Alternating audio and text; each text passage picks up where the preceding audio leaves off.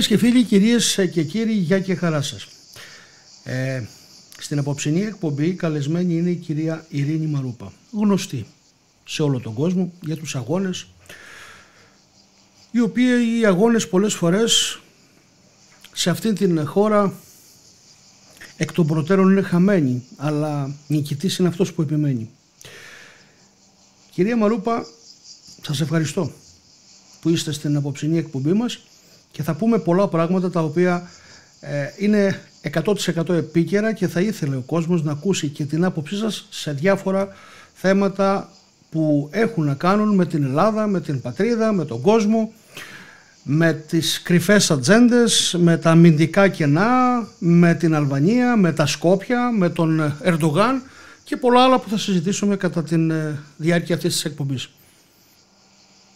Καλησπέρα, ευχαριστώ πολύ για την πρόσκληση. Η μεγάλη μου τιμή που με φιλοξενείτε πάλι. Και πρέπει να πω ότι χαμένος αγώνας είναι μόνο ο αγώνας που δεν δόθηκε. Ειδικά υπό τις σημερινές συνθήκες ε, δικτατορίας που ζούμε, ανοιχτής δικτατορίας, λογοκρισίας, όπου τα αποτελέσματα ε, δημοκρατικών δίθεν εκλογών αντιστρέφονται για πλάκα. Το ζήσαμε στη Γαλλία, το ζήσαμε εδώ με το δημοψήφισμα του 2015. Όποιο κόμμα δεν είναι αρεστό απλώς αποκλείεται.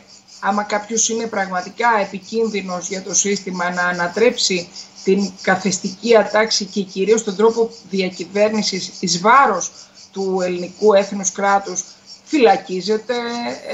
Ε, ένας, από αυτούς, ένας από αυτούς είναι ο κύριος Κασιδιάρης; Ναι, θεωρώ ότι ένας από αυτούς είναι ο κύριος Κασιδιάρης και θα σας το πω αυτό ε, εν πλήρη παρησία παρότι ιδεολογικά δεν έχω καμία σχέση μαζί του και δεν το γνωρίζω εξάλλου και προσωπικά.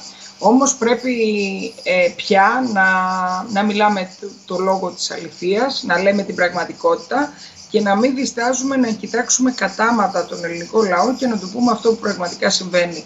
Ε, μου, μου έκανε εντύπωση το γεγονός ότι εδώ και 1,5 χρόνο ο Κασιδιάρης ενώ είναι στη φυλακή διώκεται ανηλαίως με κάθε τρόπο. Ε, καταρχάς διώκεται για το γεγονός ότι μιλάει, λέει, από τις φυλακές. Ε, και του απαγορεύσαν άδειες, δεν ξέρω, είχε κάποια Γιατί ο κύριος Κουφοντι... ο, ο, ο, ο Κουφοντίνας, ο κύριος τώρα, Επι, επειδή μιλούσε... Ο Κουφοντίνας δεν γράφει βιβλία, δεν, γρά... δεν αρθογραφεί. Εγώ, στην... εγώ αποδίδω τα ίδια και στον Κουφοντίνα. Δηλαδή και ο Κουφοντίνας εκτιμώ ότι εκινήτω από ιδεολογικά αίτια και τα εγκλήματα που έκανε είναι πολιτικά. Είναι μια μεγάλη συζήτηση αυτή. Είναι άρθρο του συντάγματος όμως. Παραμένουν όμως, παραμένουν όμως εγκλήματα. Παραμένουν εγκλήματα όμως.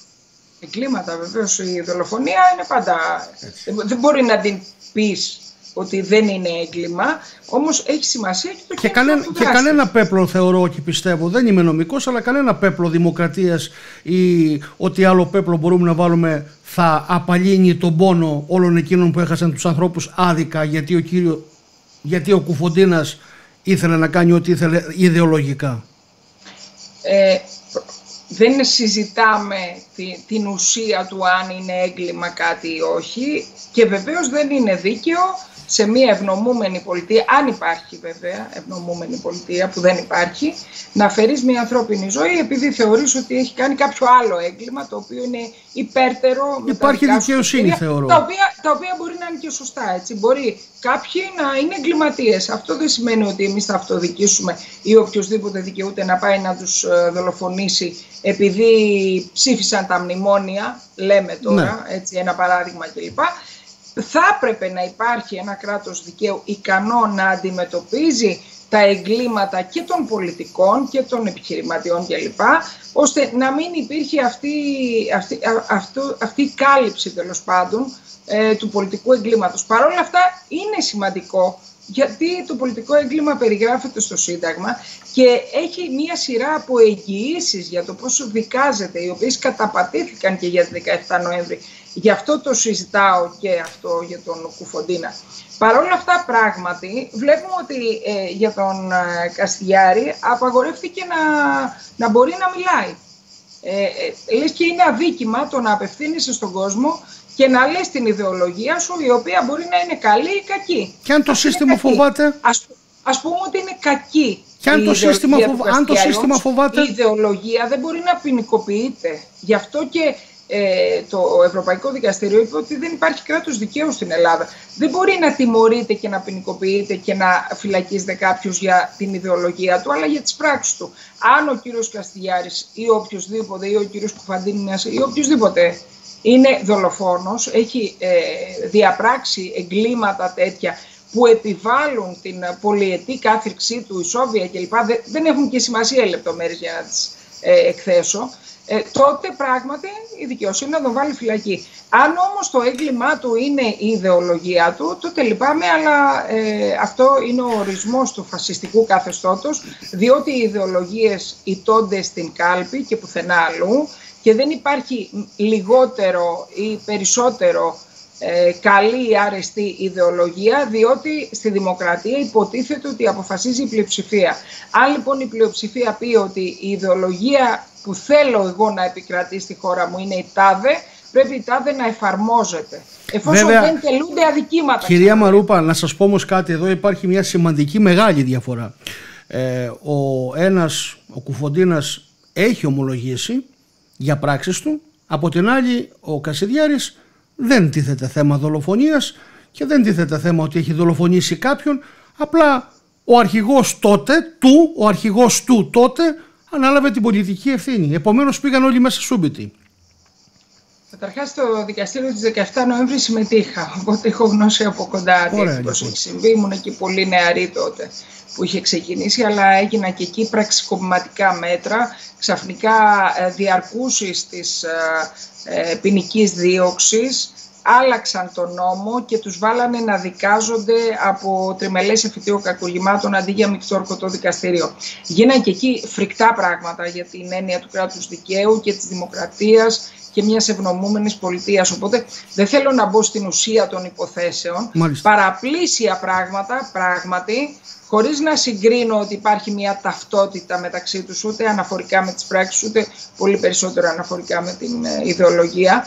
Σημασία όμως για έναν νομικό ή για έναν πολιτικό έχει το να αντιμετωπίζονται οι υποθέσεις όλες, να υπάρχει ισότητα έναντι του νόμου στους πολίτες. Όταν λοιπόν ο Υπουργός δεν διώκεται για σοβαρά ε, εγκλήματα που έχει διαπράξει, τέμπη, μάτι κλπ, στα οποία δεν μας επιτρέπεται καν να έχουμε γνώμη ότι έχει διαπράξει έγκλημα παρότι είναι βεβαιωμένο ότι είναι σε επίπεδο τουλάχιστον ενδεχόμενου δόλου, ιδίως αναφορικά με τη Σύμβαση 717 και το θέμα της τηλεδιοίκησης για τα τέμπη, αφού το ξέρε, αποδεχόταν τον κίνδυνο, του το λέγανε στα εξώδικα ότι θα υπάρξει πολύ νεκρό δυστύχισμα. Κάνε την τηλεδιοίκηση, θα συγκρουστούν τρένα και θα σκοτωθεί κόσμος.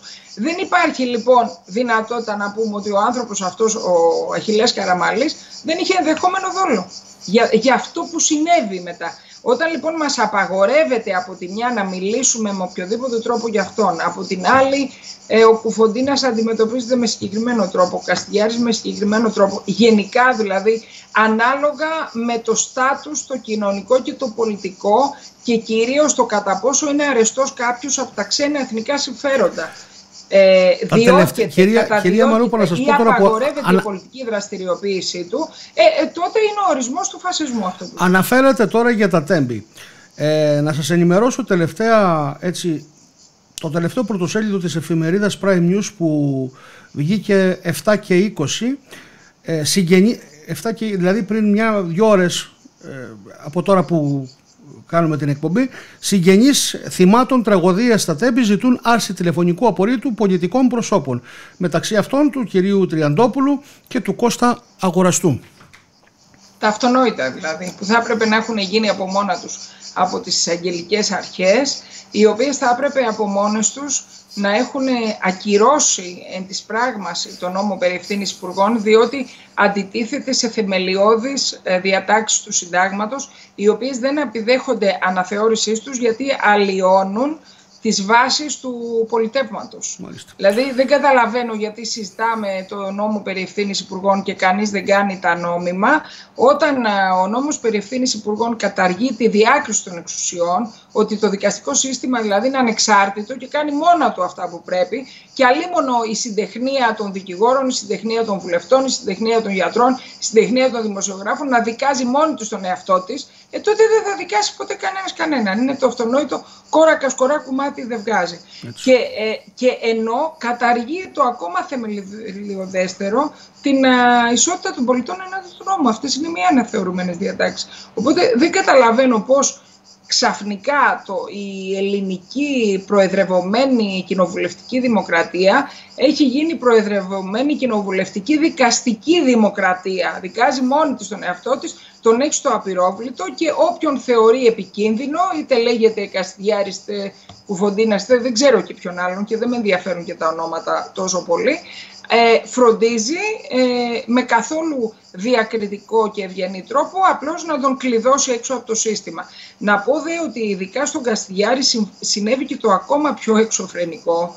Εγώ έπαθα σοκ από την ε, απουσία αντίδρασης από οποιονδήποτε θεσμικό φορέα πέρυσι όταν συνειδητοποίησα ότι υπήρξε αντιπρόεδρος του Αρίου Πάγου ο οποίος κατήγγειλε απόπειρα δωροδοκίας του ε, για να αποφασίσει ε, εναντίον της υποψηφιότητας ε, του κόμματος Καστιδιάρη, δεν ξέρω και πώς λεγόταν τότε, ποιος ακριβώς κατέβαινε στις εκλογές, με ποιο όνομα κλπ. Και ενώ το κατήγγειλε εν ενεργεία δικαστικός λειτουργός, ο οποίος παρετήθηκε κιόλας και του είπαν όχι δεν ήταν έτσι, συναντήθηκε με ανώτατη πολιτική αρχή για άλλο θέμα, επανήλθε ο δικαστικός και είπε ότι καλό είναι να μην με προκαλούν γιατί έχω στοιχεία και την επόμενη φορά θα τα βγάλω στη δημοσιότητα και δεν υπήρξε ένας εισαγγελικός λειτουργός. Πού να του πει, πάμε να δούμε τα στοιχεία. Να του πει, έλα εδώ, αγαπητέ. Έλα εδώ, γιατί αυτό. Εσύ είσαι δικαστής καταρχάς, οπότε ξέρεις και τι λες. Έλα εδώ να μας το εξηγήσεις από κοντά. Φέρ τα στοιχεία. Όπως επίσης δεν κινητοποιήθηκε δικηγορικός σύλλογος, ε, ε, ο συνηγόρος του πολίτη, δεν, δεν ξέρω, οι ανεξάρτητες αρχές δεν κινητοποιήθηκε απολύτως κανένα θεσμικό όργανο, η Ένωση Δικαστών και Εισαγγελέων, η Ένωση Εισαγγελέων, ε, η κυβέρνηση, η αντιπολίτευση, η μίζωνα, η ελάσσονα αντιπολίτευση κλπ. Κανείς δηλαδή δεν είπε αυτό που καταγγέλει αυτός εδώ, δεν πρέπει είναι, να μείνει έτσι. Στην πραγματικότητα είναι, πραξι... Μα είναι πραξικόπημα αυτό. Αφενός. Να απαγορεύω όποιον δεν θέλω να συμμετέχει. Αφενός. Όχι που είναι πραξικόπημα, το το να απαγορεύεται κάποιος να συμμετέχει στις εκλογές χωρίς να υπάρχει αμετάκλητη καταδικαστική απόφαση ε, και να έχει αυτό που λέμε ποινικό μητρό. Το ποινικό μητρό δημιουργείται με, με αμετάκλητη δικαστική απόφαση. Άρα, ε, εκ προημίου, για αυτά που είπατε για τον αγώνα που δίνουμε κλπ, ξέρουμε ότι το παιχνίδι είναι στημένο, ξέρουμε ότι ε, στην πραγματικότητα έχουν τη δυνατότητα να σε αποκλείσουν, όπως κάνανε και με το συμμετέχω εμάς σε μικρότερη κλίμακα, απλώς δεν μας έβγαλε κανένας, ούτε οι φίλοι μας, οι κολλητοί μας και τα αδέλφια μας στα κανάλια. Δεν έμαθε κανείς ότι το συμμετέχω για την εθνική κυριαρχία και την Κύπρο είναι ένα ε, κόμμα, είναι ένας πολιτικός φορέας που έχει υποψηφίους, κάποιους πρέσβεις, κάποιους καθηγητές, τον Πτέραρχο Ταυρή, τη Μαρούπα κλπ. Δηλαδή δεν μας επέτρεψαν οι άνθρωποι που μας ξέρουν, μας αγαπούν και ασπάζονται τις ιδέες μας ήδη ή που έχουν γνωρίσει τη δραστηριότητά μας και ξέρουν την εντιμότητά μας και τον πατριωτισμό μας, δεν τους επέτρεψαν να μάθουν ότι υπάρχουμε ως υποψήφοι για να πάνε να μας ψηφίσουν. Και βέβαια το, το τραγικότερο, που δεν αφορά μόνο την Ελλάδα, αλλά είναι όλοι οι δύσεις αυτή την παρακμιακή αποσύνθεση που έχουμε μπει τόσο βαθιά στο βούρκο που κάποιοι πολεμάμε και κρατάμε το κεφάλι μας απ' έξω, οι υπόλοιποι λένε τι, τι μοσκοβολιά είναι αυτή και μου αρέσει να πνιγώ στο, στον οχετό που με ρίξανε. Ε, τι συνέβη με τη Γαλλία, έτσι. Το γεγονός δηλαδή ότι η Λεπέν πρότευσε σε ψήφους, όπως αντιστοίχως είχε συμβεί το ίδιο με τον Τραμπ, όπως αντιστοίχως πιο πριν είχε συμβεί το ίδιο πάλι με τον ε, Τραμπ στις προηγούμενες εκλογές, και παρόλα αυτά, η κυβέρνηση έφτιαξε κάποιος, έφτιαξε ο τρίτος, αυτός που τρίτευσε δηλαδή, έκανε κυβέρνηση έναντι αυτού που πρότευσε. Γιατί το εκλογικό σύστημα ήταν τέτοιο που επέτρεψε στον τρίτο να πάρει περισσότερες εκλογικές έδρες από τον πρώτο. Αυτό, αν το ονομάζουμε δημοκρατία, είμαστε απλώς ηλίθιοι. Δεν υπάρχει κάτι άλλο. Έτσι. Και το οποίο βέβαια δεν έχει να κάνει αυτό καθεαυτό με τους θεσμούς, δεν συζητάμε εδώ, δεν κάνουμε μια ακαδημαϊκή συζήτηση, μια θεωρητική συζήτηση. Ποιο είναι το καλό πολίτευμα. Το καλό πολίτευμα για κάποιους είναι η Βασιλεία, για, για μας είναι η Δημοκρατία, γιατί αυτές είναι οι καταβολές μας, έτσι μεγαλώσαμε. Για κάποιους άλλους είναι κάτι άλλο. Δεν μας ενδιαφέρει λοιπόν σε επίπεδο του τι είναι καλύτερο πολίτευμα. Μας ενδιαφέρει όμως σε επίπεδο κοροϊδίας και κυρίως και πρωτοτίστω για το γεγονός ότι με τον τρόπο αυτό αντιστρέφεται η βούληση του ελληνικού, του γαλλικού λαού, του οποιοδήποτε ευρωπαϊκού λαού εις βάρος των εθνικών του συμφερόντων και ιδίως για τον πόλεμο με τη Ρωσία, ο οποίος εξελίσσεται άμεσα σε πυρηνικό πόλεμο. Τα είπαμε στην εκπομπή σας ακριβώς πριν τις εκλογές. Μάλιστα. Πάμε λοιπόν τώρα να ξεκινήσουμε με την υπόθεση Μπελέρη. Ο άνθρωπος αποδήμαρχος εκλεγμένος. Μια στιγμή έρχεται η Νέα Δημοκρατία να δείξει το πατριωτικό της ε, προφίλ και πλευρά.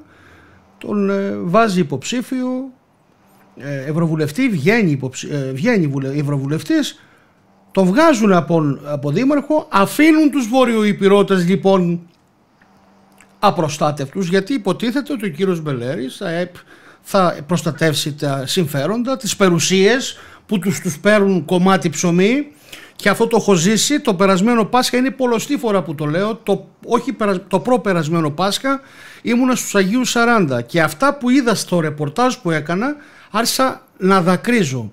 Σπίτια, κυρία Μαρούπα σπίτια βόρειο υπηρετών Ελλήνων τους αναγκάζουν να τα πουλήσουν. Σπίτια επαναλαμβάνω 2 και 3 και 5 χιλιάδες και αυτός που τα παίρνει ο Αλβανός τα πουλάει μετά 60 και 70 στους Αγίους 40 κοντά που είναι τουριστικό μέρος και που μαζεύει τον κόσμο όλο τουριστικά από μεριά Ιταλίας και τα λοιπά. Λοιπόν, αφήνουν λοιπόν ένα Δήμο απροστάτευτο στην ουσία. Κατά τα άλλα ο κύριος, βέβαια ευθύνη δείχνω και στον κύριο Μπελέρη εγώ, προσωπικά εγώ, αλλά αυτό είναι ένα άλλο θέμα. Ε, ε, ε, ο κύριος Μητσοτάκης κοκορεύεται ότι έδωσα το περιθώριο σε ένα Βόρειο Υπηρώτη να πάει στην Ευρωβουλή να διεκδικήσει δικαιώματα της Βορείου Υπήρου τη στιγμή που εγκαταλείπει τη θέση του στην ουσία γιατί έτσι βόλεψε και τώρα αυτός ο Δήμος θα πάει σίγουρα σε χέρια ενός Αλβανού που θέλει να ξεπουλήσει την περιουσία των Βόρειο Υπηρωτών. Θα ήθελα την άποψή σας. Ε, η άποψή μου ταυτίζεται με τη δικιά σας. Ε, με την ερώτηση που κάνατε και κυρίως εδώ και πάρα πολλά χρόνια έχω ξεκινήσει από το 2014 να μιλάω για την Αλβανία γιατί στην η Τουρκία στην Αλβανία έχει επεκταθεί και έχει δημιουργήσει στο Δυράχιο και αλλού στρατιωτικές βάσεις, λιμάνια, έχει ελιμενήσει πλοία της στρατιωτικά, έχει ε, προσγειώσει στρατιωτικά της αεροσκάφη τα οποία απειλούν την Ελλάδα. Όταν λοιπόν εμείς χρηματοδοτούσαμε, φανταστείτε τότε, το 2014-2015, χρηματοδοτούσε η Ελλάδα λιμάνι στην Αλβανία και το λιμάνι χρησιμοποιείται για τουρκικούς σκοπούς. Και έλεγα πώς δεν το βλέπει αυτό η τότε κυβέρνηση, γιατί διαχρονικά οι κυβερνήσεις της Ελλάδας ε, πράττουν ε, κατά των εθνικών της συμφερόντων. Αφού δημιουργήθηκε λοιπόν αυτό το τόξο γύρω από την Ελλάδα, το μουσουλμανικό, τουρκικό στην πραγματικότητα, δεν είναι μουσουλμανικό, έναν ασφικτικό κλειό έχει δημιουργήσει η Τουρκία γύρω-γύρω μας και με τη Λιβύη μαζί. Έχουμε τώρα την ε, απεινή δίωξη της ελληνικής εθνικής μειονότητας. Καμία κυβέρνηση ποτέ, δεν θυμάμαι, από τις κυβερνήσεις του Ανδρέα Παπανδρέου θυμάμαι λίγο που υπήρχε έτσι κάποια προσπάθεια τότε με υφυπουργούς εξωτερικών ε, απόδημου ελληνισμού κλπ. που πηγαίνανε και προωθούσαν τα δικαιώματα της ελληνικής εθνικής μειονότητας. Καταρχάς να πούμε ότι η Ελλάδα είναι η μοναδική που έχει εθνικές μειονότητες σε, σε εχθρικά της κράτη. Στην Αλβανία και στην Τουρκία αναγνωρισμένες βάσει διεθνών συνθήκων που σημαίνει ότι τα δικαιώματά τους τα έχουν στο ακέραιο και ότι οποιοδήποτε προσφύγει το ελληνικό κράτος τους προστατεύσει σε διεθνή φόρα ή σε, ε, σε διεθνή δικαστήρια θα βρει οπωσδήποτε το δίκιο του. Γιατί η ελληνική εθνική μειονότητα σημαίνει προστατευμένη γλώσσα, θρησκεία, περιουσία και εθνικός αυτοπροσδιορισμός. Δηλαδή αυτό που κάνανε στα Σκόπια και στην Αλβανία που απαγορεύανε στην απογραφή που τα κατήγγειλε αυτά ο Μπελέρης στους Έλληνες να, να λένε ότι εγώ είμαι Έλληνας αυτό απαγορεύεται βάσει των διεθνών συνθήκων και θα είχε καταδικαστεί η Αλβανία σε οποιοδήποτε διεθνές δικαστήριο. Αντί λοιπόν να αντιπράξουμε στην πρακτική αυτή, αλλά και στη δίμευση των περιουσιών, γιατί αυτό που περιγράψατε προηγουμένως είναι ότι αγοράζουν 2-3 χιλιάρικα, στην πραγματικότητα είναι δίμευση. Δηλαδή, εγώ εσένα δεν σε συμπαθώ, γιατί δεν συμπαθώ το γεγονός, ε, δεν θέλω έναν ξένο ε, εθνικά αυτοπροσδιοριζόμενο μέσα στο κράτος μου και επομένως επειδή δεν σε συμπαθώ απλώς θα σε πετάξω έξω. Θα σε εξοντώσω φυσικά, θα σου πάρω την περιουσία σου, τη δουλειά σου, δεν θα έχεις ψωμί να φας, οπότε ή θα πας πίσω στην πατρίδα σου ή θα πεθάνεις. Μα, αυτό είναι αυτό, Μα εδώ είναι η διαφορά μας κυρία Μαρούπα, η πατρίδα του γεωγραφικά ας πούμε είναι αυτό, αυτή εκεί που ζει. Το ότι τη χάρισε η Ελλάδα επί Βενζέλου αυτό δεν σημαίνει ότι, ότι αυτά τα μέρη δεν, είναι, είναι Ελλάδα. Εδάφη, ότι δεν είναι ελληνικά εδάφη. Κοιτάξτε, πράγματι έχετε δίκιο σε αυτό ότι η, η Βόρεια Ήπειρος έχει προσαρτηθεί δύο φορές και μην ξεχνάμε είχε γίνει και ε, δημοψήφισμα και στη Βόρεια Ήπειρο και έχει προσαρτηθεί στην Ελλάδα και πράγματι απετράπει εξαιτίας πάλι συνεννόησης του Βενιζέλου, ό, του θαύματος αυτός ο Βενιζέλος έχει κάνει εγκλήματα τελικά κατά της Ελλάδας. Προβλήματα, μόνο προβλήματα και με την Ανατολική Θράκη και με την Βόρεια Ήπειρο και με το Μικρασιατικό Ελληνισμό. Και δύο φορές πήγε ο ελληνικός στρατός και τον πήραν πίσω. Δύο φορές. Και με την Αλβανία μετά με το, με το 40.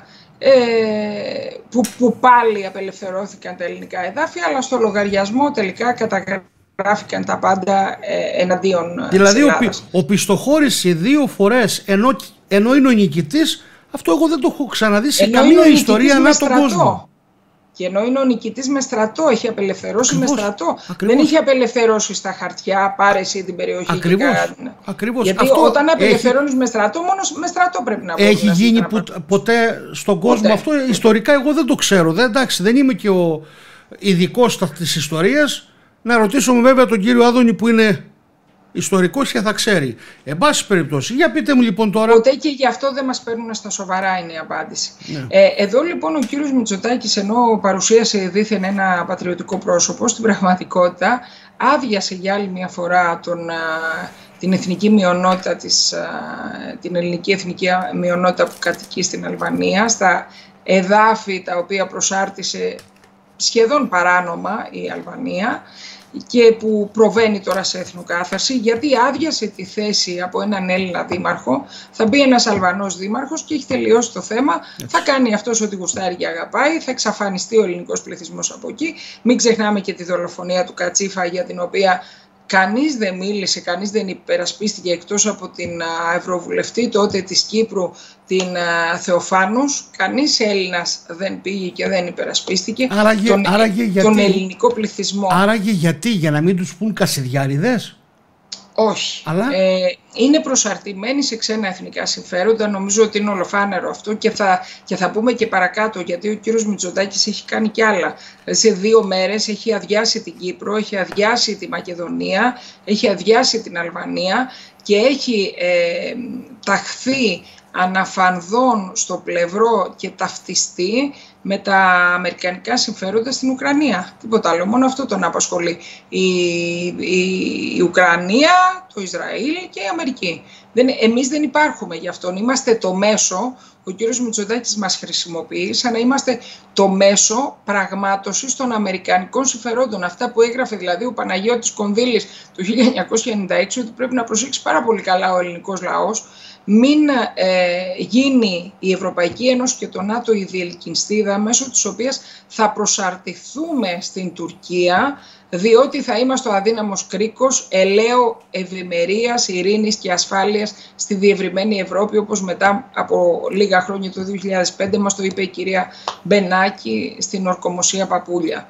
Ε, μετά, ο κύριος Μητσοτάκης λοιπόν αφού άδειασε την Αλβανία και την ελληνική εθνική μειονότητα πάρα πολύ ωραία, ε, χλιαρά, σχεδόν καθόλου, δεν αντέδρασε στην, ε, στις δηλώσεις Μιτ, Μιτσκόσκι, του, του καινούριου δηλαδή πρωθυπουργού. Σκοπίων. των Σκοπίων, ο οποίος αποκάλεσε την χώρα του Μακεδονία, Μακεδονική κυβέρνηση, Μακεδονικός λαός και, και ξανά και Μακεδονία. Ο Υπουργός Εξωτερικών των Σκοπίων είπε ότι είναι θέμα δικό μας το πώς αποκαλούμε τη χώρα μας και μάλιστα στη συμφωνία μέσα υπάρχει ο όρος του άρθρου 16 νομίζω αν δεν κάνω λάθος που λέει ότι μπορούμε να χρησιμοποιούμε και η μία πλευρά και η άλλη, δηλαδή και εμείς ακόμα και εκείνοι ε, τον όρο Μακεδονία και Μακεδονικός ή Μακεδονικό.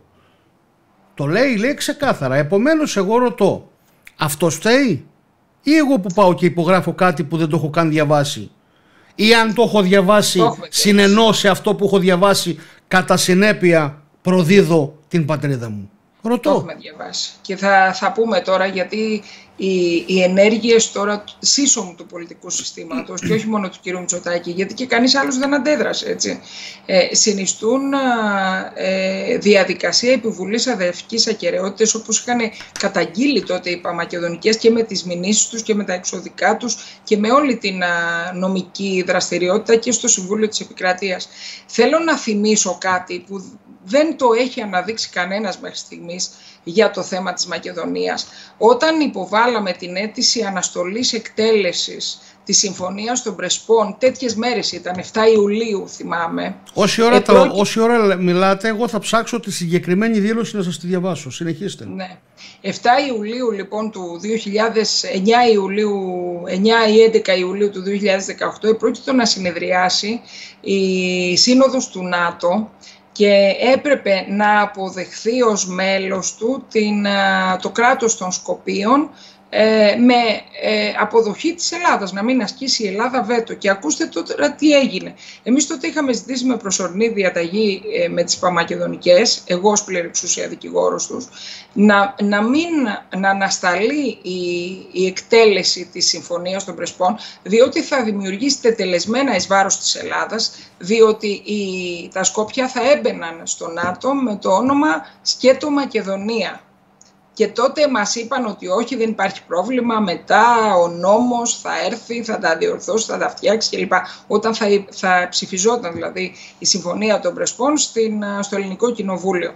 Η απάντηση είναι ότι τότε δεν μας δώσανε την αναστολή, την απορρίψανε πράγματι και ε, πρέπει να φέρουν αυτό το όνειδος ε, στην δικαστική και ιστορική και εθνική τους συνείδηση οι δικαστές που το έπραξαν αυτό, διότι ε, στη σύνοδο αυτή η Τουρκία έβαλε βέτο και είπε ότι εγώ δεν αποδέχομαι τη, να, μπει, να μπουν τα Σκόπια στο ΝΑΤΟ με άλλο όνομα εκτός του ονόματος Μακεδονία, με το οποίο αυτοπροσδιορίζονται.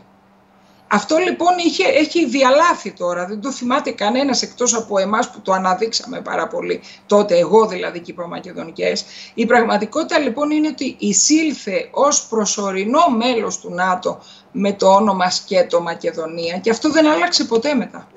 Συγγνώμη, δηλαδή, οπότε έχει συγγνώμη, δηλαδή είναι σαν μέλος του ΝΑΤΟ ναι.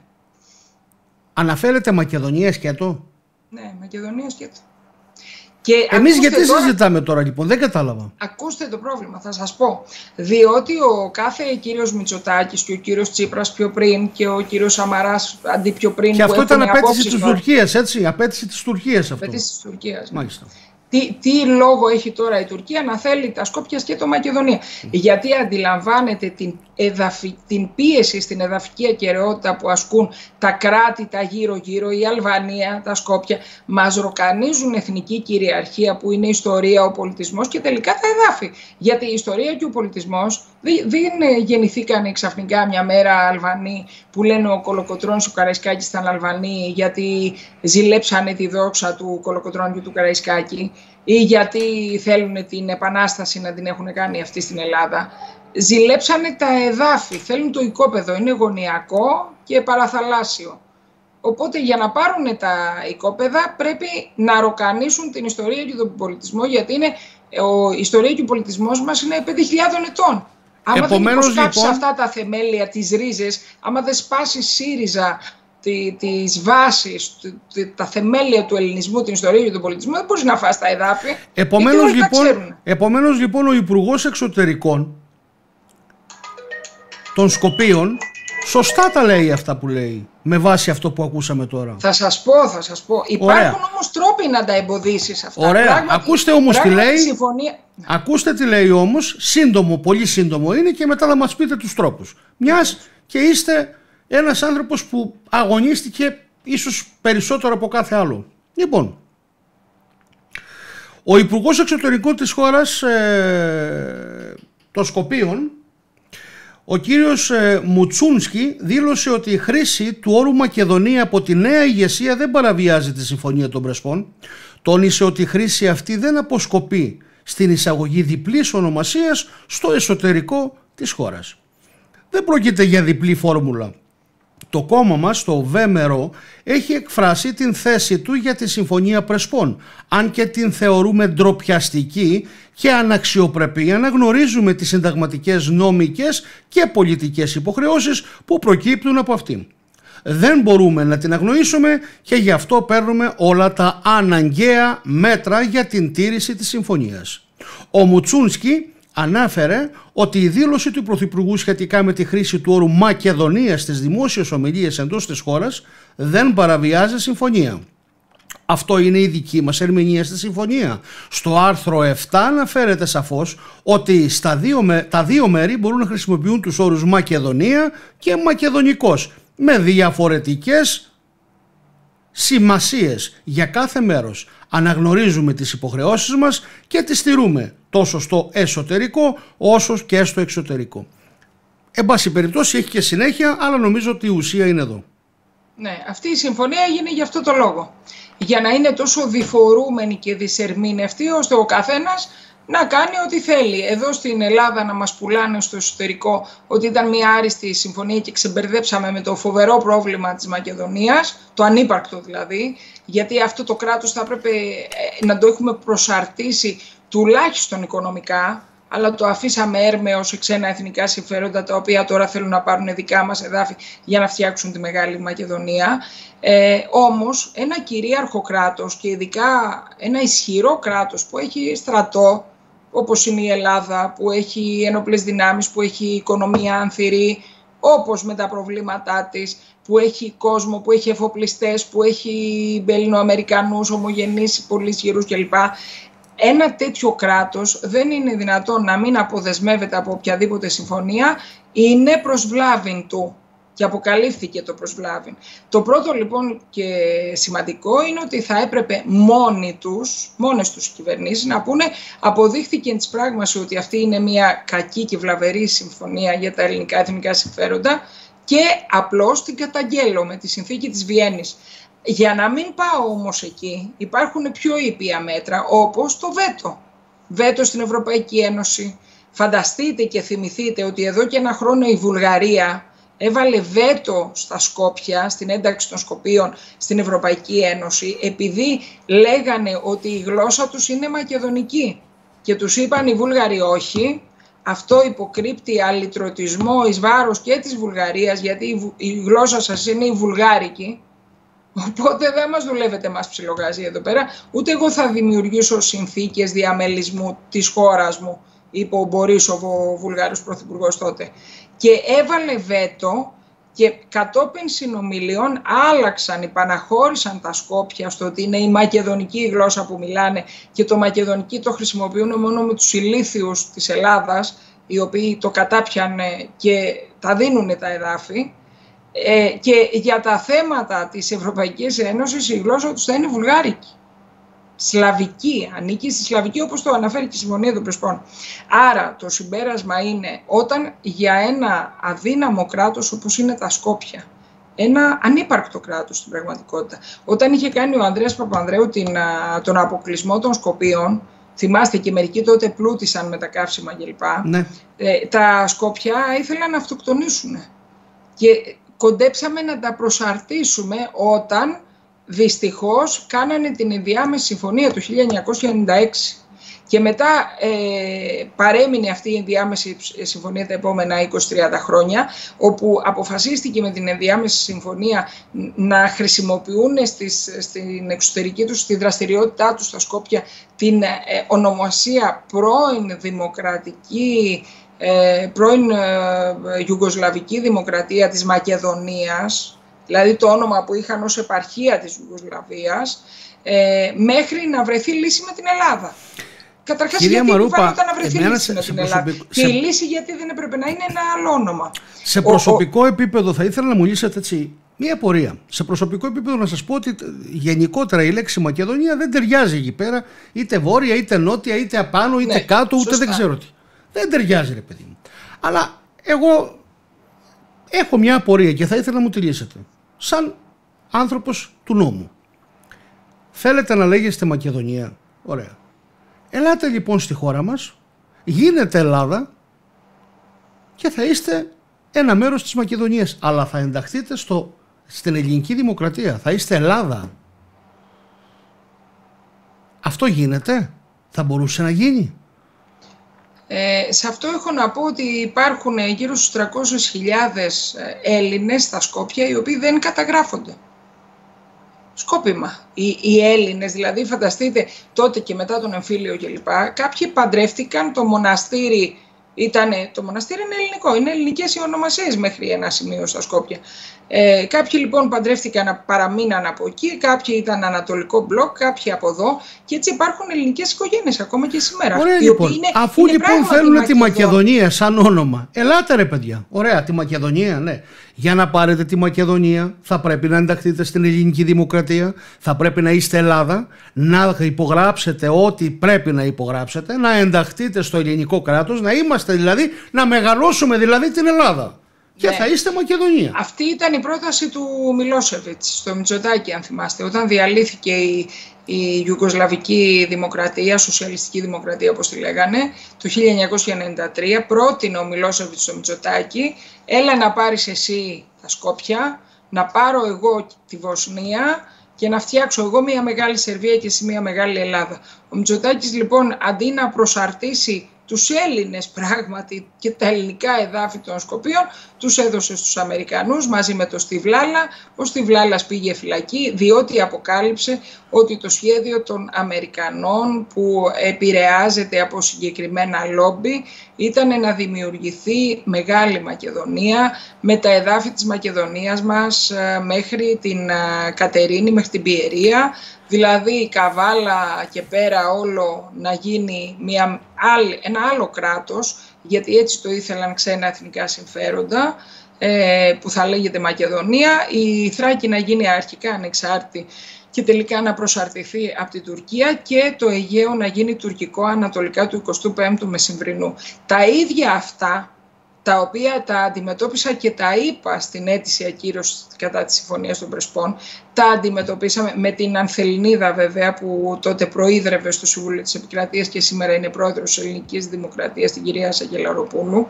Τα ίδια αυτά ε, τα, τα έγραψε σε άρθρο του ο, ένας δημοσιογράφος στα επίκαιρα του Λιβάνι το Μάρτιο του 2018 όπου είπε επιλέξει ότι η αμερικανική πολιτική στη Χερσόνησο του Ένου είναι η αλλαγή των συνόρων προς το παρόν με ειρηνικό τρόπο.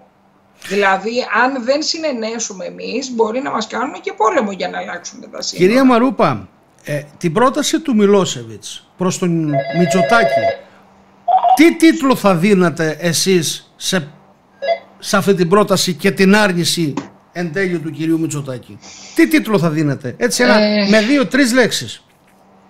Ε, ο, ο τίτλος είναι «Προδοσία εθνικών Δεν, δεν, δεν υπάρχει κάτι άλλο να πεις, ό,τι κάνει και ο γιος του τώρα, ο οποίος αποκάλυψε σε σχέση με την Τουρκία, καταρχάς συζητούσε στη σύνοδο του ΝΑΤΟ, του ΝΑΤΟ συζητούσε επί 45 λεπτά με τον Ερντογάν. Τι έλεγε 45 λεπτά με τον Ερντογάν; Ποιος θα μας το πει αυτό μία ολόκληρη ώρα, τι μπορεί να έλεγε; Γιατί δεν είναι μία εθιμοτυπική συζήτηση, μιλήσαμε και πέντε λεπτά και δεν τρέχει τίποτα και γεια σας τι κάνετε καλά, ευχαριστώ οικογένεια, τα παιδιά και η σύζυγος. Εδώ μιλάμε για 45 λεπτά, είναι κανονικές συνομιλίες. Για ποια θέματα του ελληνισμού και του ελληνικού κράτους και τις σχέσεις με την Τουρκία και την Κύπρο μιλάγανε για 45 λεπτά που ποτέ δεν μας έχει πει κανένας τι συζητούσε ο Τσίπρας στην Κωνσταντινούπολη με τον Ερντογάν, με θέα το Βόσπορο, ο Μητσοτάκης πάλι κλπ ο, ο Τεμενάς, ο Γεραπετρίτης τη συζητάει, η κυρία Παπαδοπούλου στην οποία έχει εκχωρήσει, το ξέρετε ότι ο Υπουργός Εξωτερικών της Ελλάδας, ο κύριος Γεραπετρίτης, έχει εκχωρήσει όλες του τις αρμοδιότητες στην κυρία Παπαδοπούλου, την Υφυπουργό Εξωτερικών. Έχει ξαναγίνει αυτό ποτέ; ποτέ. Ο Υπουργός Εξωτερικών να μην έχει καμία αρμοδιότητα στην κυριολεξία, αυτό να μην γιατί, Αυτό γιατί; Γιατί δεν θέλει να έχει την ευθύνη για όσα θα υπογραφούν ή έχουν υπογραφεί. Δεν θέλει και, να για ποιο λόγο, και για ποιο λόγο η κυρία Παπαδοπούλου δέχτηκε κάτι τέτοιο αφού ξέρει ότι ο υπουργός ναι. το κάνει γιατί πρέπει να γλιτώσει ενδεχόμενη κατακραυγή του κόσμου Κοιτάξτε, κάποιοι είναι ενεργούμενα ξένων εθνικών συμφερόντων με μεγάλη περηφάνεια. Το θεωρούν και τιμή τους που είναι δούλοι. Που, που ξεπουλάμε. Και, ναι, και που δίνουν την Ελλάδα ε, ε, για λογαριασμό των ξένων. Ξαναλέω, είναι το ίδιο που είχαμε πει και το είπε τώρα και ο Μητσοτάκης, ότι για την ευημερία, λέει, και την ασφάλεια στη διευρυμένη Ευρώπη, τα Σκόπια λέει καλό είναι να εφαρμόζουν τη Συμφωνία των Πρεσπών. Να σας κάνω μία διάκριτη ερώτηση. Οπότε τι, τι μας λέει στην πραγματικότητα, ότι τη θέλει τη Συμφωνία των Πρεσπών, δεν τον ενοχλεί που χρησιμοποιούν το όνομα της Μακεδονίας, αλλά προς το παρόν δεν θέλει να πολυακούγεται για να μην έχει αντιδράσεις από το εσωτερικό της Ελλάδας και τις Παμακεδονικές. Ορίστε. Κυρία Μαρούπα, οι θέσεις σας είμαι σίγουρος στο 100% ότι εκφράζουν πάρα πάρα πολλούς Έλληνες. Θέσεις που καθημερινά σιγοψιθυρίζει Έλληνας προς Έλληνα αλλά δεν τολμά ποτέ να τις διεκδικήσει. Το γιατί είναι ένα άλλο, ένα άλλο θέμα. Θα σας κάνω μια διάκριτη ερώτηση. Έχετε σκεφτεί ποτέ να δημιουργήσετε εσείς ένα δικό σας κομματικό φορέα που να έχει πατρίδα, θρησκεία, οικογένειας για σημαία. Αλλά χωρίς να εμπορευόμαστε ούτε την πατρίδα, ούτε τη θρησκεία, ούτε την οικογένεια. Μην κάνουμε δηλαδή εμπόριο των ιδανικών. Έχετε σκεφτεί ένα κομματικό φορέα που εσείς να είστε ο πρόεδρος εκείνου του φορέα; Με καταλαμβάνετε εξαπίνης πρέπει να πω. Ε, δεν περίμενα τέτοια ερώτηση. Η πραγματικότητα είναι όμως, και δεν θα αποφύγω την ερώτηση, ότι πρέπει τελικά να δημιουργηθεί ένας πολιτικός φορέας, ο οποίος θα έχει αυτεξούσιο και θα έχει ανθρώπους οι οποίοι όλοι θα μπορούν να ηγούνται αυτού του κόμματος. Δεν θα υποτιμούνται, δεν θα υποβλέπονται, δεν θα εξυπηρετούνται ε, προσωπικές ιδιωτελείς σκοπιμότητες ή ξένα εθνικά συμφέροντα ή εγχώρια επιχειρηματικά συμφέροντα, αλλά ο πολιτικός φορέας αυτός θα διεκδικεί στα ίσια τα ελληνικά εθνικά συμφέροντα, γιατί χρωστάμε στους γεννημένους και στους αγέννητους. Γιατί η Ελλάδα 5.000 χρόνια που υπάρχει πρέπει να συνεχίσει να υπάρχει και τα επόμενα 5.000 χρόνια και δεν θα συνεχίσει να υπάρχει αν αυτοί που βλέπουμε σήμερα σαν πολιτικό σύστημα συνεχίζουν να είναι αυτοί που θα μας εκπροσωπούν. Αλλά αυτό είναι ένα θέμα που θα το αναλύσουμε άλλη φορά μάλλον. Ε, γιατί πρέπει να πάμε και στα υπόλοιπα που είπε ο Μητσοτάκης και ήταν πάρα πολύ Μην ξεχάσετε την εκπομπή αυτή. Και για εσάς που το βλέπετε το λέω και για εσάς κυρία Μαρούπα. Μην την ξεχάσετε αυτή την εκπομπή. Έχετε όμως το, τον τρόπο σας να ευνηδιάζετε και τους φιλοξενούμενους και τον κόσμο σας. Αυτό είναι στη δημοσιογραφία νομίζω. Αυτό είναι, έχετε δίκιο να βγάλετε και την είδηση. Ε, το σημαντικά λοιπόν, τα επόμενα δύο σημαντικά που είπε στη Σύνοδο του ΝΑΤΟ ο κύριος Μητσοτάκης και για τα οποία επίσης δεν έχει ενοχληθεί κανένας, δεν έχει γίνει καμία φασαρία, καμία έρευνα, καμία προκαταρκτική από την εισαγγελία του Αριού Πάγου, πουθενά τίποτα, είναι τα εξής δύο εξίσου θεμελιώδη. Το πρώτο θέμα είναι ότι είπε ότι εμείς στην Ουκρανία δώσαμε μεγάλες ποσότητες όπλων τόσο πολλές ώστε δημιουργήθηκαν κενά στην ε, αμυντική θωράκιση της χώρας. Δηλαδή όλα αυτά που φωνάζαμε όλοι εμείς εδώ και δύο-τρία χρόνια που μαθαίναμε ότι έχει αφοπλιστεί η Λέσβος, έχει αφοπλιστεί η Σάμος, ότι φεύγουν καραβάνια όπλων, ότι το, ε, το ε, το Στεφανοβίκιο ε, δεν ήταν τόσο τυχαίο που πλημμύρισε και πνίγηκαν οι αποθήκες γιατί μάλλον είχαν φύγει τα πυρομαχικά πιο νωρίς από εκεί για την Ουκρανία. Αυτοί που μας λέγανε ότι βλέπουν καραβάνια στους δρόμους στην Εγνατία Οδό να πηγαίνουν προς Αλεξανδρούπολη. Τελικά... Κυρία Μαρούπα, σήμερα είχαμε και άλλη μια καταγγελία και είχαμε και πριν ένα μήνα μια καταγγελία με τον πάλι τον Κουρτσίδη που ε, κατέθεσαν κάποιοι άνθρωποι αυτό που είδαν και το βίντεο το συγκεκριμένο στον, ε, υποψήφιο, το, στον υποψήφιο ευρωβουλευτή κύριο Γιώτη που το έδωσαν βίντεο και φόρτωσαν 80 πυραυλικά συστήματα σε τσιμεντάδικο. Η στρατονομία είχε αποκλείσει το συγκεκριμένο χώρο να μην περνούν πολίτες και υπάρχει καταγγελία και δόθηκε στην κυρία Δηλίνη με αριθμό πρωτοκόλου και δεν έχει ακόμα ούτε ενοχλήσει κανένας κανέναν να δούνε τελικά τι ήταν αυτό. Με βίντεο, οπτικοκοστικό υλικό, καταγγελίες και με αριθμό πρωτοκόλλου καταγγελία. Η αλήθεια είναι ότι δεν το έχω υπόψη μου αυτό, παρότι είναι φίλος ο Πάρης ο Κουρτζίδης, αλλά δεν, το έχω, δεν έχω αντιληφθεί αυτή την τόσο σημαντική δημοσιογραφική και πολιτική του ενέργεια. Όμως, ακόμα και αυτά που δημόσια ξέρουμε και συζητάμε, αρκούν για να πούμε ότι οι άνθρωποι αυτοί δημιουργούν το υπέδαφος για την επιβολή εδαφικής ακαιρεότητας εκ μέρους της Τουρκίας. Η, η Ελλάδα έχει λίγα αντιπυραυλικά συστήματα και η θωράκισή της είναι αμυγός αμυντική. Όταν πριν από δύο-τρία χρόνια λοιπόν ξαφνικά μεταφέραμε μία μοίρα Patriot στη Σαουδική Αραβία τη Ζάμπλουτη, την Καραζάμπλουτη που έχει δισεκατομμύρια το χρόνο να δίνει για πυραυλικά συστήματα και τη τη δώσαμε. Ενώ δείτε τώρα και την καραμπόλα, η Σαουδική Αραβία πλέον δεν ανήκει στο δυτικό μπλοκ. Ανήκει, πήγε με τη Ρωσία, με τους BRICS κλπ.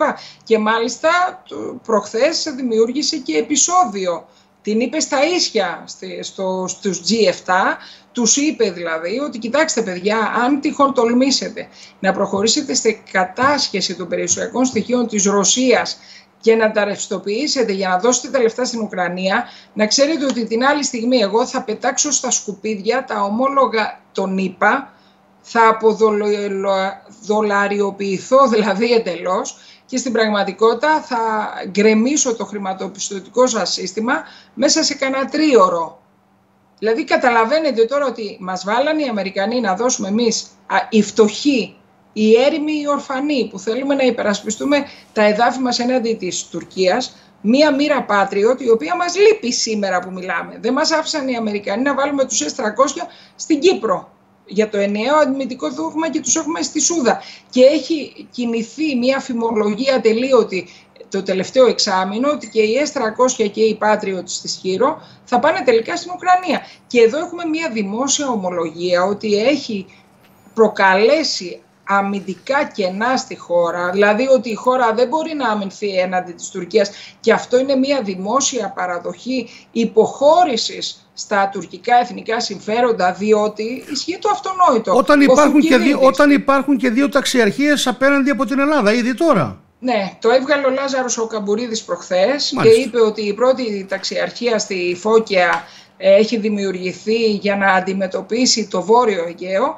και η, ε, και η δεύτερη ταξιαρχία στο Αγζάν, δεν θυμάμαι πώς το λένε, ε, απέναντι από τη Ρόδο είναι για το Νότιο Αιγαίο που μας λέγανε ότι θα, ότι θα διαλύσουν την πρώτη στρατιά και ότι θα την πάνε μακριά και δεν μπορούν να την ξαναφέρουν και άρα δεν κινδυνεύει το Αιγαίο. Εμείς αποστρατιωτικοποιήσαμε το Αιγαίο, επιτρέψαμε στη Ζουράφα πριν από 6-8 μήνες να γίνουν ασκήσεις τουρκικές με πραγματικά πυρά ε, βγάζοντας εκείνο το ανεκδιήγητο το Υπουργείο Εξωτερικών, το ανακοινωθέν ότι ε, και τι έγινε λέει και που πυροβολούν τη Ζουράφα, η Ζουράφα λέει πάλι ελληνική θα μείνει λέει γιατί είναι ύφαλος και δεν μας πειράζει. Τώρα λοιπόν, ε, χθες προχθές τώρα τις τελευταίες μέρες συγκρούστηκε πλοίο του ελληνικού λιμενικού, σκάφος του ελληνικού 8 λιμενικού. του μήνα, 8 του μήνα, 8, 8 και το βγάλατε εσείς κυρία Κυριακάκη και προς τιμήν σας γιατί ασχολείστε πολύ και μας ενημερώνετε με τα πατριωτικά θέματα.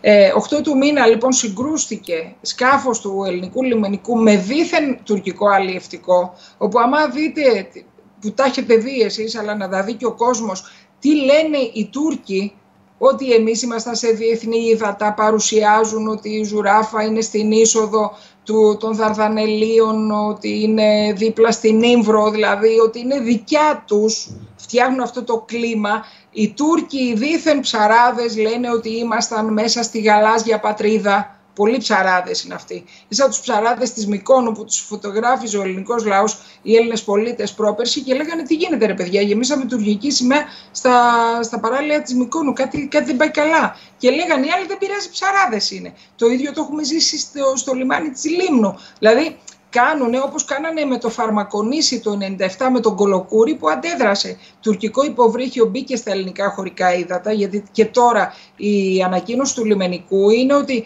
ε, το αλευτικό βρισκόταν και δίθεν ψάρευε μέσα σε ελληνικά χωρικά ύδατα και έκανε αυτά που έπρεπε. Το απέκρουσε. Τότε λοιπόν πάλι το 97 είχε μπει στο φαρμακονήσι το, το τουρκικό υποβρύχιο το πολυβόλησε ο στρατηγός σήμερα εν αποστρατεία Κωνσταντίνος Κολοκούρης και βρήκε και τον πελάτο άνθρωπος. Τον βάλανε επειδή θέλανε να τον περάσουν και στρατοδικείο αλλά δεν τολμήσανε, όπως δεν τολμήσανε και με το Σαλιάρι που επακούμβησε την Κεμάλ Ρέση εκεί και την διέλυσε, τη διεμβόλησε.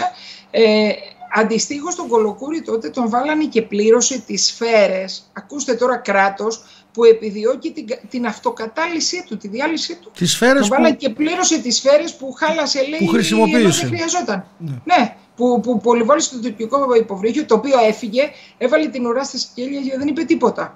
Αντιστοίχως, λοιπόν, ο κύριος Μητσοδάκη, εκτός από αυτό, στη Σύνοδο του ΝΑΤΟ, μας είπε και το εξής καταπληκτικό, ότι στην Κύπρο, λέει, καλό είναι να ξαναρχίσουν οι συνομιλίες, λέει, ανάμεσα στις δύο κοινότητες. Κοινότητες. Ναι, είναι κοινότητες. Κοινότητες. Δηλαδή, η Ελληνοκυπριακή Δημοκρατία είναι κοινότητα. Θυμάστε στο στο Grand Montana. Ε, καλά, και ο κύριος Κασελάκης μίλησε για κρατήδιο. Μίλησε για κρατήδιο μέσα στην Κύπρο. Ε, ναι, τίποτα δεν είναι καταλάβει. Το κρατήδιο λέει, το κρατήδιο της Τουρκίας. Κρατήδιο.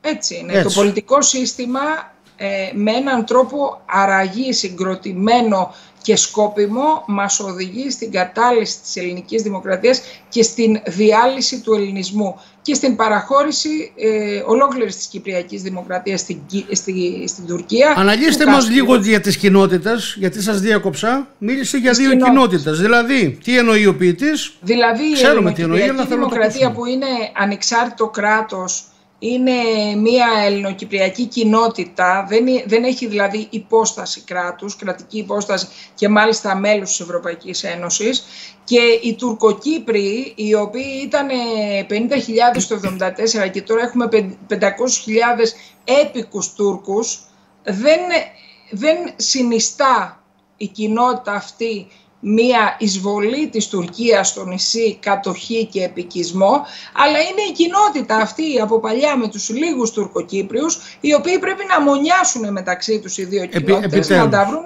και να συνεχίσουν τον uh, αθώος παρτοβίο τους. Γεραπετρίτη συζητάει με τη Γενική Γραμματέα.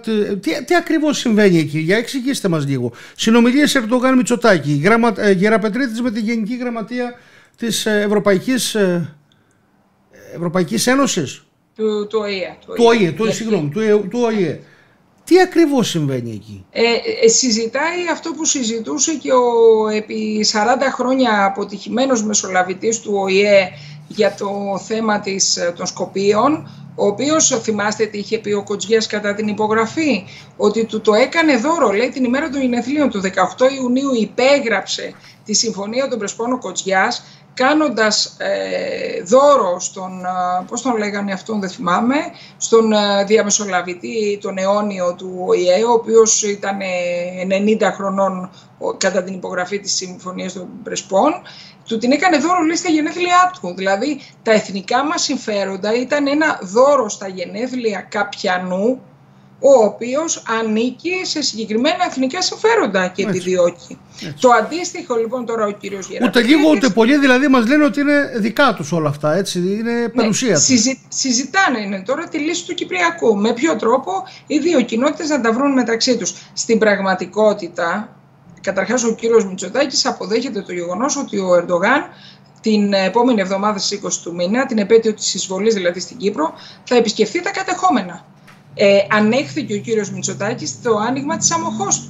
Πουλάνε σπίτια, πουλάνε οικόπεδα στην Αμόχωστο. Έτσι, η Αμόχωστος με τα ψηφίσματα του ΟΗΕ είναι ελληνική περιοχή. Είναι ελληνική περιοχή, προσέξτε. Δεν είναι ε, κατεχόμενη. Είναι εντελώς ελληνική, είναι μια νεκρή πόλη. Αντί λοιπόν να πάμε να την ανοίξουμε εμείς όπως θα έπρεπε να την έχουμε ανοίξει, και αντί να πάμε να απελευθερώσουμε τα κατεχόμενα πολεμικά όπως μας τα πήρανε, γιατί είμαστε ένα ισχυρό κράτος. Και όταν ένα ισχυρό κράτος δεν διεκδικεί τα δικαιώματα, τότε τα χάνει. Δεν έχει αξιοπιστία, δεν έχει σοβαρότητα στο, στον έξω κόσμο. Ποιο να σε πάρει στα σοβαρά όταν σε βγάζει ο άλλος, ο αδύναμος από το σπίτι σου και εσύ δεν το παίρνεις πίσω. Απλά είναι τα πράγματα στη ζωή. Δεν υπάρχει διεθνές δικαστήριο να σου δώσει το σπίτι σου πίσω. Το σπίτι σου πρέπει να το πάρεις με τον ίδιο τρόπο που σου το πήρανε. Πολεμικά και έχεις κάθε δικαίωμα να το κάνεις αυτό. Όταν λοιπόν εμείς δεν διεκδικούμε τα αυτονόητα, ε, είναι βέβαιο ότι θα μας πάρουν και, και την Αθήνα μας έχουν πάρει, η οποία έχει γίνει Ισλαμαμπάντ βέβαια. Έτσι. Κυρία δηλαδή, Μαρούπα, συγγνώμη, να σας διακόψω λίγο. Με αυτές τις θέσεις έχετε σκεφτεί να προεδρεύσετε σε ένα κομματικό χώρο που θα δημιουργήσετε, επαναλαμβάνω, με αυτές τις θέσεις. Δεν το έχω σκεφτεί γιατί δεν είμαι αρχηγομανής πρέπει να σας πω και για το λόγο αυτό παρότι έχω πάρα πολύ έντονη δραστηριότητα τα τελευταία 12 Αρχηγομανής μπορεί να μην είστε. Για τα θέσεις πατρίδας όμως, θέσεις πατρίδας όμως που όλοι μας, αυτοί τουλάχιστον που ισχυριζόμαστε, ότι αγαπάμε τον τόπο αυτό και το ισχυριζόμαστε γιατί δεν έχουμε κάνει επί της ουσίας τίποτα να το δείξουμε. Γιατί για να το δείξεις πρέπει να κάνεις πολλά, όχι να κάνω εκπομπές όπως κάνω εγώ. Πολλά, πολλά, πάρα πολλά. Αλλά εν πάση περιπτώσει αυτές οι θέσεις, εμένα προσωπικά, σαν Νίκο, με εκφράζουν. Ε, νομίζω ότι εκφράζουν οποιοδήποτε πατριώτη, διότι ισχύει αυτό που λέει ο Μερσχάιμερ. Όσες φορές αντιπαλεύει ο πατριωτισμός τον φιλελευθερισμό, πάντα νικάει ο πατριωτισμός. Γιατί; Γιατί τον πατριωτισμό, την πατρίδα μας την έχουμε μέσα στην ψυχή μας, είναι η οικογένειά μας. Σκεφτείτε τώρα, το, σκεφτείτε τώρα το νέο φιλελευθερισμό τι κάνει.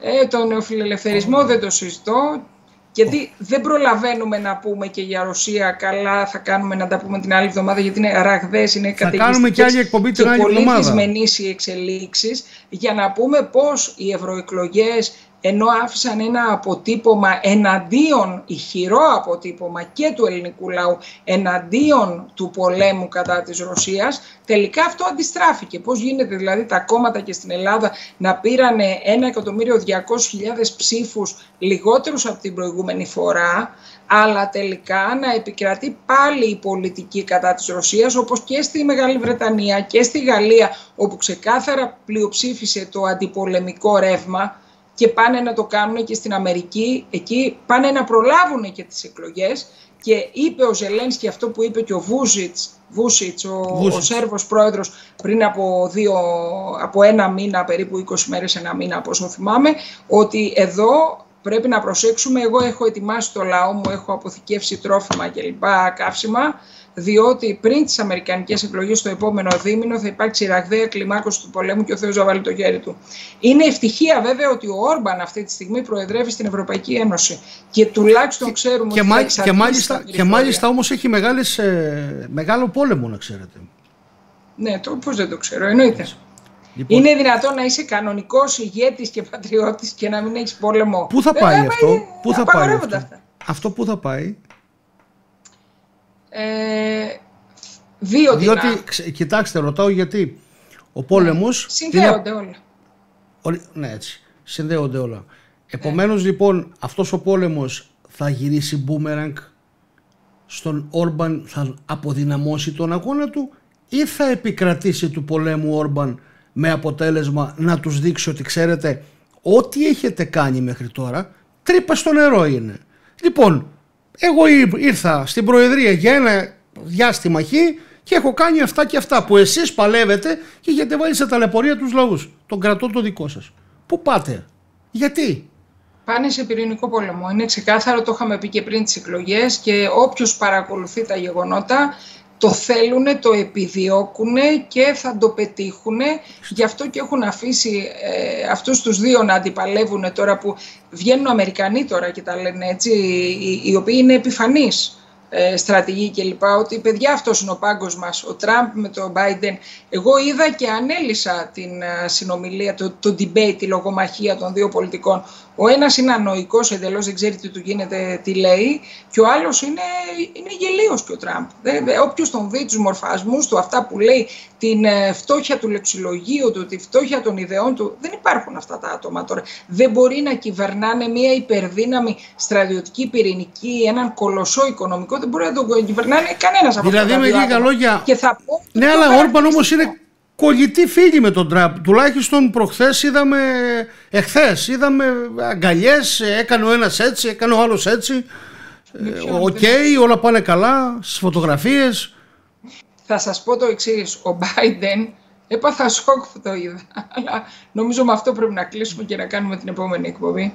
Ο Biden στη σύνοδο του ΝΑΤΟ και κανένας δεν έχει πει κουβέντα από αυτά τα ανδρίκελα, Μητσοτάκηδες, Μακρόν, ε, δεν ξέρω ποιοι άλλοι είναι, ο Σόλτς κλπ.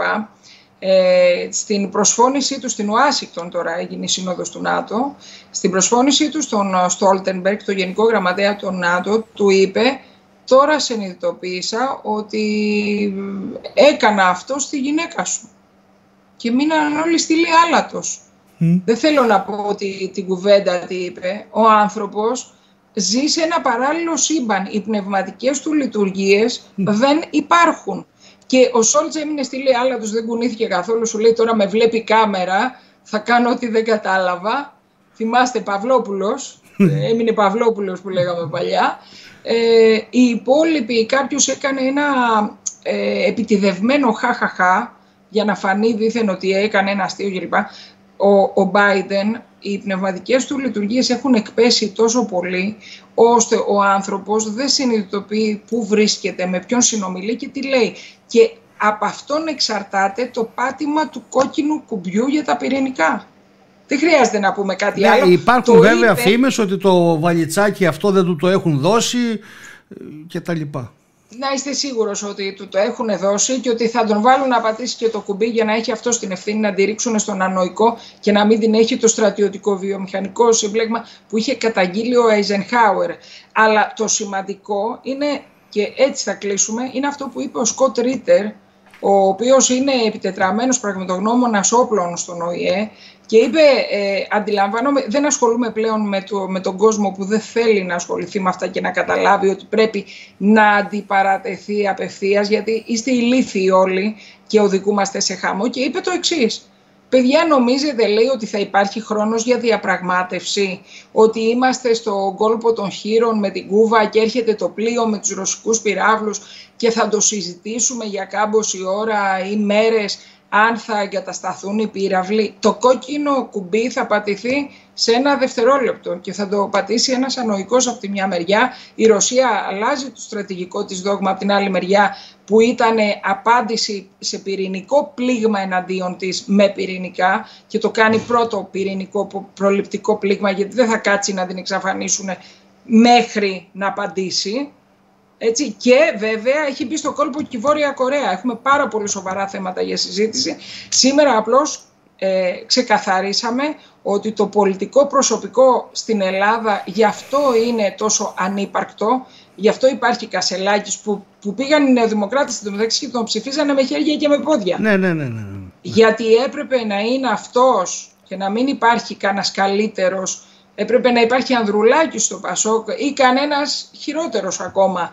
Να υπάρχει Μητσοτάκης, ο οποίος ανεπηρέαστος θα παραδώσει όλο το πολεμικό υλικό στην Ουκρανία, θα κάνει όλες τις συμφωνίες, θα τις τελειώσει με την Τουρκία, θα αποστρατιωτικοποιήσει τα νησιά, θα δώσει Μακεδονία, θα ολοκληρώσει την παράδοση της Μακεδονίας και των εδαφών ακόμα και στην Αλβανία θα φροντίσει να τερματιστεί η ελληνική εθνική μειονότητα.